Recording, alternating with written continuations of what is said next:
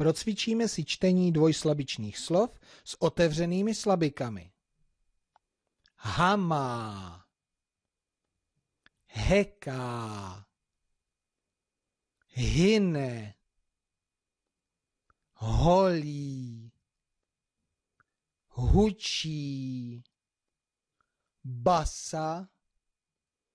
Bečí.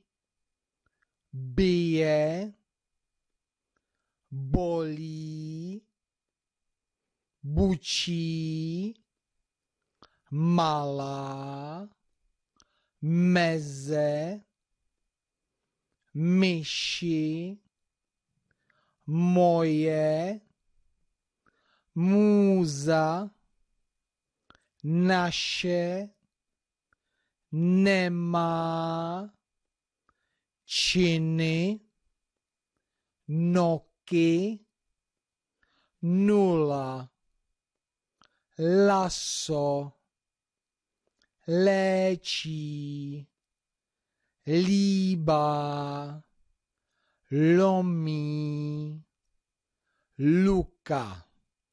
Nyní si celé video přehrej znovu, stlum si zvuk a přečti všechna slova.